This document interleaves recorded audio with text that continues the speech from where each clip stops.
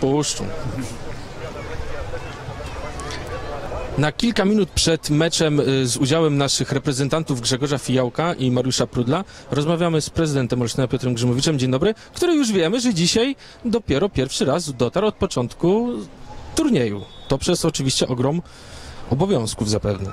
E, tak, no niestety do dnia dzisiejszego nie miałem możliwości odwiedzić e, areny zmagań piłki siatkowej plażowej, e, która się rozpoczęła już e, dwa dni temu, ale na pewno dzisiaj ten mecz z udziałem Polaków już za chwilę będę starał się oglądnąć. Zapraszam mieszkańców, również ci, którzy mają możliwość oglądania z trybun czy poprzez telewizję internetową WM PL, bo na pewno będzie się działo. Jestem przekonany, że musimy kibicować naszym, ażeby oglądać ich również w najbliższych dniach, a przede wszystkim w niedzielę, w finale, bo na to liczymy. No właśnie, o tych, o tych szansach medalowych za chwilę porozmawiamy. Nie dotarł pan jeszcze na trybunę główną, tam gdzie jest najwięcej miejsc y, siedzących, ale jak teraz się pan tak przeszedł, za nami jest ta, ta trybuna na mniejsza. E, jakie wrażenia? Widzę, że atmosfera jest e, wspaniała, zarówno jeśli chodzi o e, kibiców, którzy bardzo gorąco, bardzo serdecznie, e, z wielkim takim entuzjazmem oklaskują zawodników występujących przy siatce.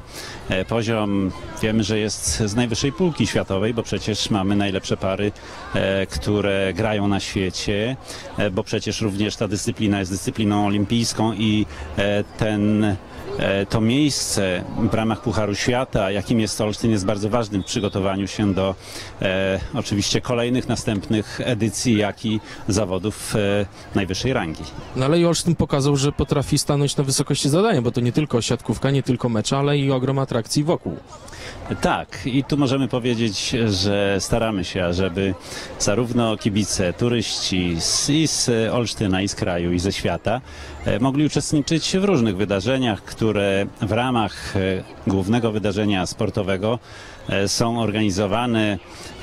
Jest bardzo wiele osób rodzinnie, z dziećmi, a więc atmosfera familijna tu nad naszym pięknym jeziorem, przy pięknej pogodzie, bardzo wiele atrakcji wodnych, bardzo wiele atrakcji tutaj również na plaży, a więc e, możemy dobrze wypoczywać, możemy uczestniczyć w wyjątkowym wydarzeniu, no i naprawdę miło spędzić czas. No właśnie, to to teraz te sportowe pytanie. Ile medali zdobędą nasze polskie pary?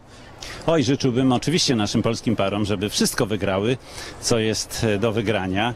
Natomiast wiemy, że walka jest ciężka. Wiemy, że no przecież występują sami najlepsi na świecie i w związku z tym nie będzie tak łatwo. Ale, ale mamy znakomitych kibiców i doskonale wiemy, że to potrafi nieść naszych zawodników. Mistrzostwa Świata, które były z udziałem siatkarzy, e, no tej siatkówki rozgrywanej e, pod, w obiektach krytych pokazały te w Polsce, że kibice potrafią po prostu cuda czynić razem z zawodnikami, gdy wspólnie po prostu, e, możemy powiedzieć, współpracują. A więc liczymy na to, że tutaj ten poziom będzie również bardzo wysoki, zarówno ze strony zawodników, jak i kibiców, a to pomoże w zdobyciu najlepszych miejsc.